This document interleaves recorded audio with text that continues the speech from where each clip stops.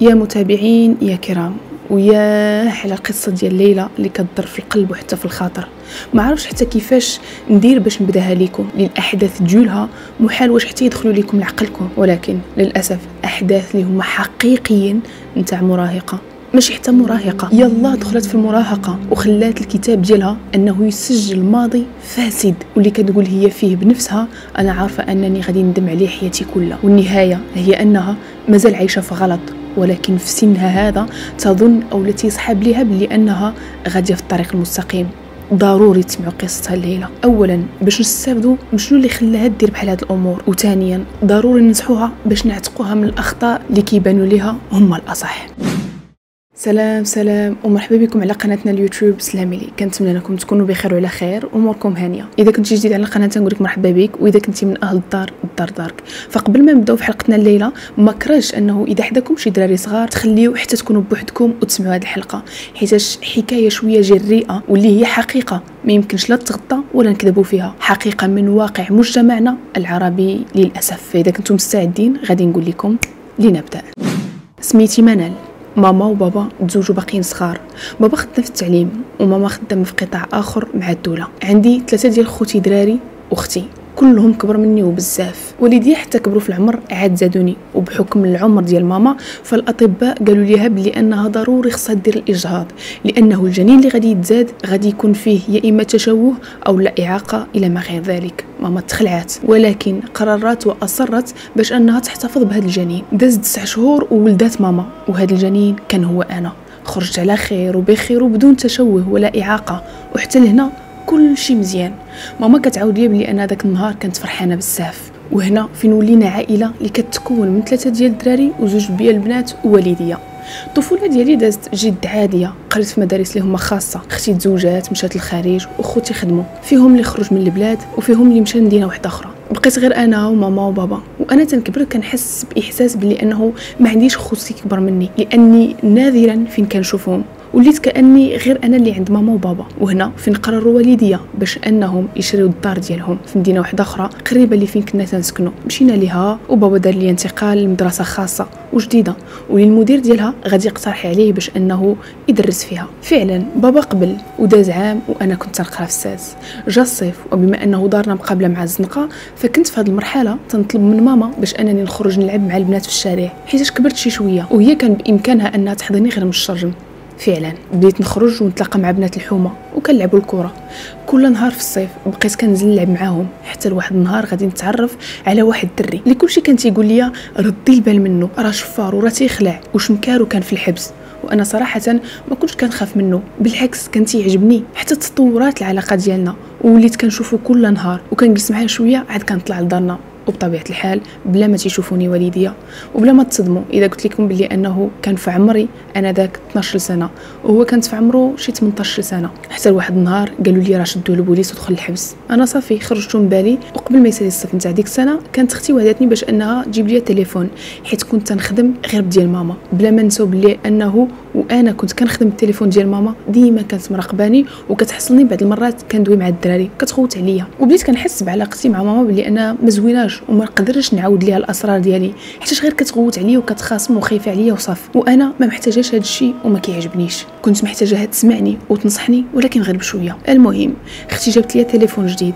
في هذا الوقت تعرفت على واحد الدري من واحد المواقع من مواقع التواصل الاجتماعي هذا الوقت بالذات كنت أنا طايشة بزاف وكان تيسحب لي بلي أنه حتى شي حد ما يقدر يديرها بيا. تعرفت على هذا الدري وبدا كيدخل معايا في شي حوايج اللي ماشي حتى لهيه. وتيقول لي صيفط لي تصاورك وما تخافيش. وفعلا أي حاجة كانت يطلبها مني كنت تديرها ليه من صور مخله للحياه إلى ما غير ذلك. ما دازش بزاف ما عجبنيش هادشي اللي تندير وقلت ليه بلي انه صافي ما تبقاش تطلب مني باش أنني نصيفط لك شي حاجة. وهنا بدا تيهددني إذا ما صيفطتيش غادي نشوهك ونلوح لك التصاور في هنا وهنا وهنا. وصراحة تخلعت وصبرت. هادشي كامل وقع ومع ذلك ماما كانت كتقلب لي التليفون ديالي. ولكن أنا كنت نخبي داكشي في واحد الدواسه في التليفون. حتى لواحد النهار غادي نسافروا لعند جدة واللي كانت عندي واحد بنت عمتي كبر مني اللي كانت تيق فيها. كانت جالسة عند جدة. عاودت لها شنو كاين بلي أنه داك الدري بغى يفتحني بتصاوري عيطت لي على أساس بلي أنها ماما وحصلتني وبدات كتعايرو. وهنا تفكيت منه وما بقاش تيبرزطني صالة الصيف انتقلت للأولى اعدادي اللي هي السابعة. وهنا فين غادي تبدأ أحداث قصتي مع مواقع التواصل. اللي غادي نبدأ كنتعرف على بزاف ديال الدراري.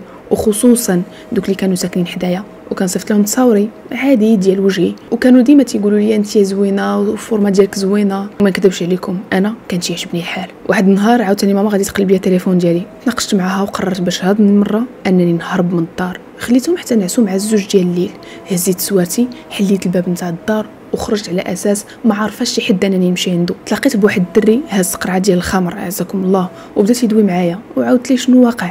وبقيت غادي أنا وياه حتى لواحد طلعة بحال شي جبيلة خاوية. وبدا كيتقرب مني. وما قلتش ليه لا. وما كانش يبان لي أنا داك بلي أنني غلطة. تقرب مني والمهم كملوا من راسكم. بقيت معاه حتى الصباح الصباح في الزنقة. ومشيت عند جدة. وقلت لها راه دابس مع ماما. واشنو وقع ليا؟ لا ما عاودتش الحقيقة بلي أنه كنت مع الدري ولكن تناقشت مع ماما وجيت عندك. قالت لي صافي جلسي أنا غادي نعيط على ماماك باش ما تخلعش عليك ونقول لها بلي راكي هنا. جات ماما وبابا باش يديوني ولكن رفضت خدات لي ماما تليفوني ومشات فحالها وأنا ماشي من العكزات. هزيت التليفون تاع جدة اللي فيه حليت مواقع التواصل كلهم وبديت كندوي فيهم. من بعد دازت الأيام ومشيت لدارنا. مره أخرى غادي ندير مع واحد الدري آخر ودرت معاه في واحد البلاصة. وباش يمكن ليا نخرج قلت لماما راني غادا الحانوت ولكن ضربتها بالجرية. مشيت نشوف داك الدري واش كاين في ديك البلاصة ما لقيتوش.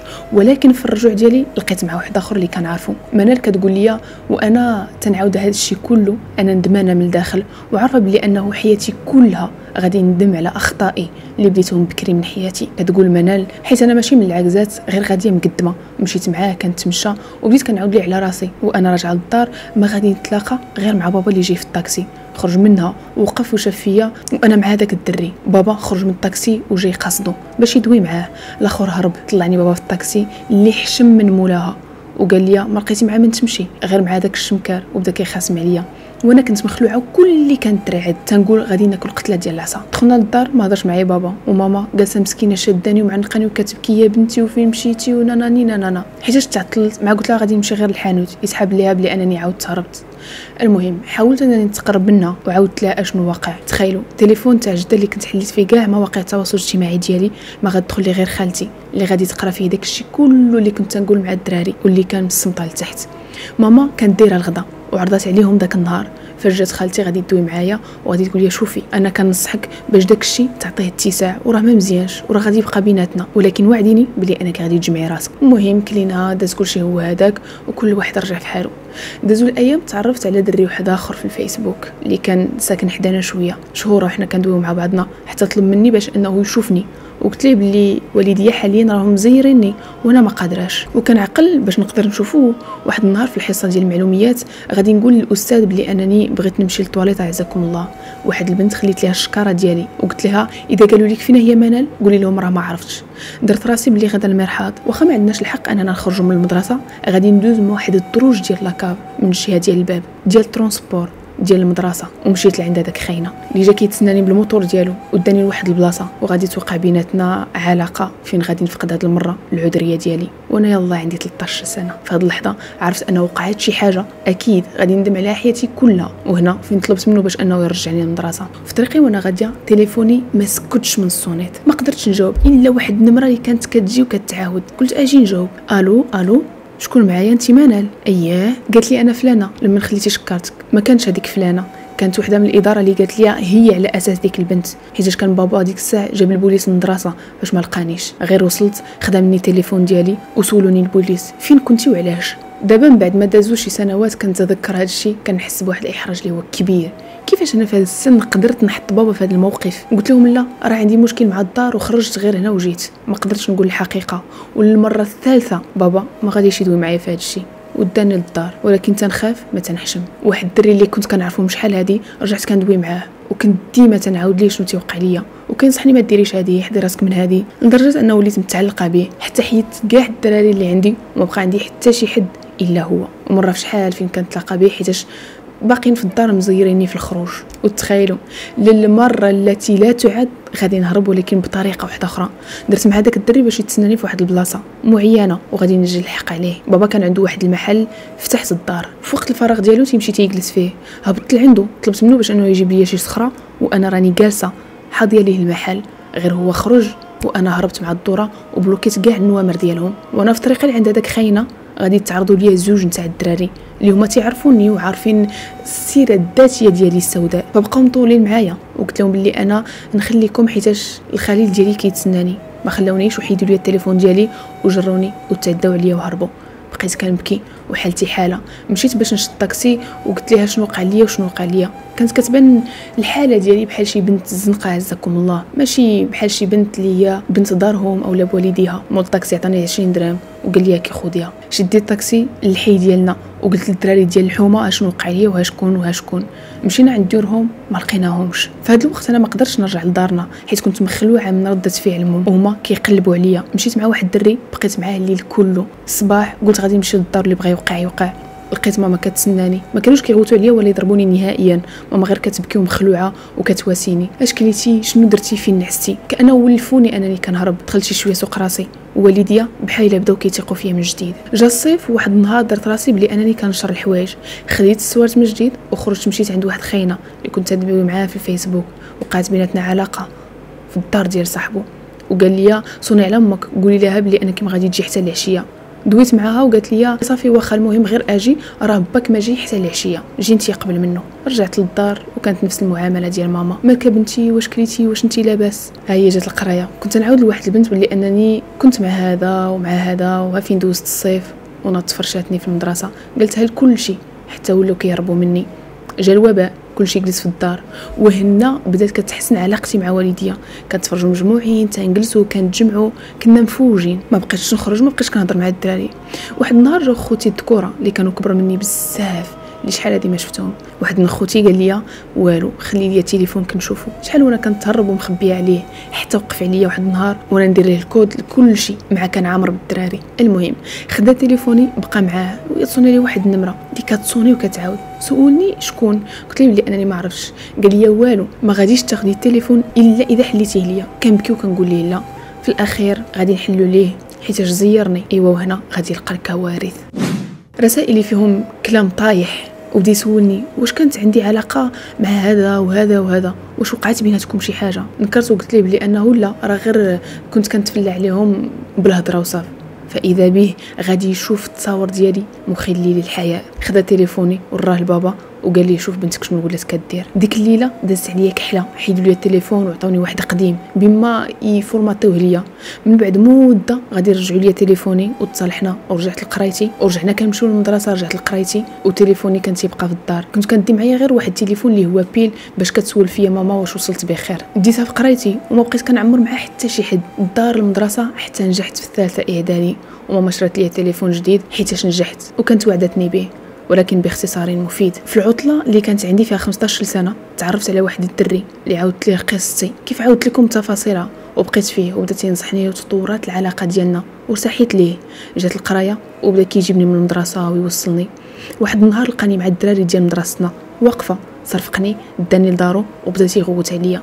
من بعد تصالحنا رجعني للمدرسة. وبقيت وقت ما كانت عندي شي ساعة خاوية كنمشي للدار عنده حتى لواحد النهار غادي تصدموا بهذا الخبر. لقيت راسي حاملة. وهنا كانت الصدمة الكبيرة ديال حياتي. 15 سنة وأنا حاملة. قالها لختو اللي صاحبتها كتعرف شي طبيب كيدير عملية الإجهاض. حيدت الجنين اللي ما كانش مازال مكمل شهر في النمو ديالو. دازت العملية بخير. وحاولت أنني نخلي ماما ما تشكش. واخا حسيت أنها شكات معها حصلت عندي شي دوايات. وقلت لها بلي راه ديال صحاباتي اللي كانوا بقاو عندي. وهاد المشكلة هي اللي دات لي نوعا ما العقل ديال بصح. حيت عمرني ما توقعت أنني نطيح في هذا المشكل ورغم من العلاقات اللي كانت متعددة وفي سن صغير بزاف بقات علاقتي مستمرة مع هذا الشخص اللي حملني. فضلت أنني نبقى معاه لأنني كنت نحس به كان تيفيقني من الأغلاط ديالي وكينصحني. أنا اليوم عندي 19 سنة وبقى معاه. واخا أنه ديما تيذكرني باللي ما غاديش يتزوج بيا وكل مرة تيذكرني بهذا الأمر باش ما بقاش غادية في الغلط ديالي معاه. ولكن أنا متشبتة به ومتعلقة به حيتاش بدل فيا بزاف ديال الحوايج خصوصا أنه كان معايا راجل واخا تيعايرني واخا قاصح معايا ديما وقف معايا كتقول منال راني نادمة أشد الندم ودارني خاطري على هذا الماضي. وهذه هي حكايتي. للأسف للأسف للأسف هذا كلام ديال المراهقه كارثة وأحداث اللي ما كيدخلوش للراس وحلفتها واش أنها صادقة. وعاهدتني بالصدق في كل الأحداث. صراحة كان خاصني بزاف من السوايع باش أنا نقدر نصدق الكلام ديالها اللي راني اختصرت لكم بزاف حيت كاينين شي تفاصيل اللي ما نقدرش نشاركهم معكم احتراما لي واحتراما لكم. عافاكم عافاكم ما كرهتكمش تنصحوها ولكن قبل ما نخليو لها شي نصيحة ما نساوش أنهم كيف ما عاهدتوني ولفتوني في حكاية سابقين أنه نعطيوها بأدب لأنه إحنا حاليا خصوصا كنوجهوا كلام البنت عندها 19 سنة. كلام يا إما يرجع ليها مزيان يا إما يأذيها. الهدف أننا حاليا نديروا دور الآباء اللي ما قدروش يديروه والله أعلم. حيتاش هذه القصة سمعتها من طرف واحد اللي هي طفلة. نقدر إذا سمعتها من طرف الأم والأب تكون عندها شي زاوية واحدة أخرى. ما كرهتش أننا نعتقو إذا لقينا ما نعتقو وليس تخريب النفوس وتدميرها. لأنه بكلمة ممكن إنسان يا إما يطيح يا إما يطلع.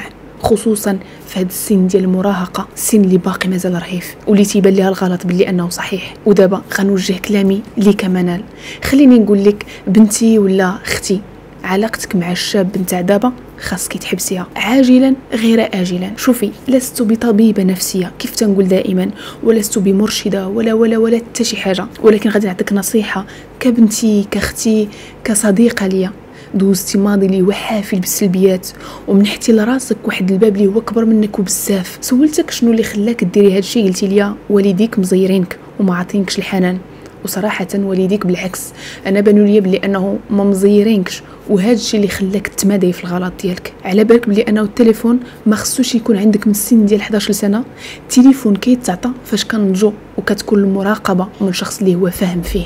ببساطة التليفون خرج عليك في سن طفولي وهذه هي النتيجة ديالو اليوم. راه فاش كنت تسمع القصة ديالك تأسفت بزاف ما عرفتش علاش ولكن سن صغير دابا اللي عطا الله عطاه. أنا غادي نقول لك حاجة شوفي ديري هذا الكلام حلقة في ودنيك إذا بقيتي في هذا الباب ديال من ذكر لذكر من علاقة لعناقه فالنهاية باينه شنو غادي تكون في الأخير؟ بحال واحد زائد واحد تساوي زوج. راك باقا صغيرة. وكل نهار عندنا فرصة باش أننا نبدلو حياتنا. حبسي من العلاقات. إذا اليوم والبارح والبارح ربي يسترك غدا غادي يحبس الستر ديالو. عليك لأنك ما قدرتيش وما عطيتيش قيمة. قرايتك ثم قرايتك ثم قرايتك ثم قرايتك ألف مرة. يا منال الشواهد ديالك وعلمك هو اللي غادي يدوم ليك.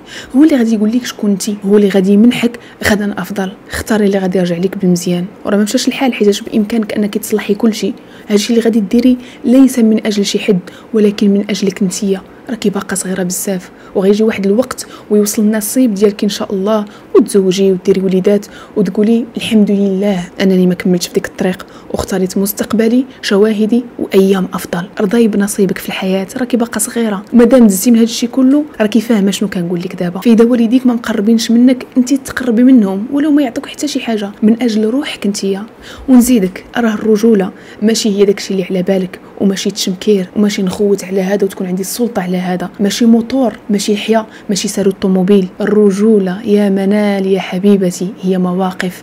ماشي مواقف نتاع أنه حملتي معاه وتحمل هو هذه المسؤولية في انه دار لك الإجهاض. راه الرجولة في الشريعة ديالنا الإسلامية وعموما هي أنه ما يقدرش أصلا يتجرأ عليك إلا إذا كان من باب الحلال. منال راكي باقا كتيكيتا. باب الله وطريق الله أفضل وأبقى من هاد الخزعبلات كلها. دقي باب مولانا.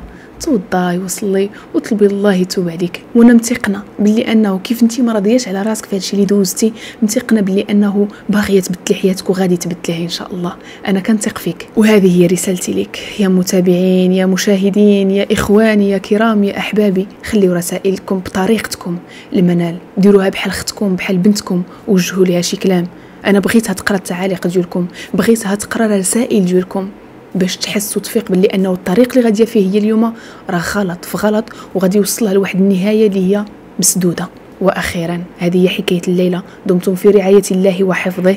إذا وصلتوا حتى لهاد اللقطة ما كرهتكمش أنكم آه، من بعد هذا الشيء اللي سمعتو كاملكم تخليو ليا لتحت شي عنوان لهاد القصة. عنوان نسمي به قصتنا. اللي غادي نبدل أنا هذا العنوان اللي كتشوفوا دابا وغادي نحط العنوان ديال أحسن واحد. آثار إعجاب ديالي في التعاليق.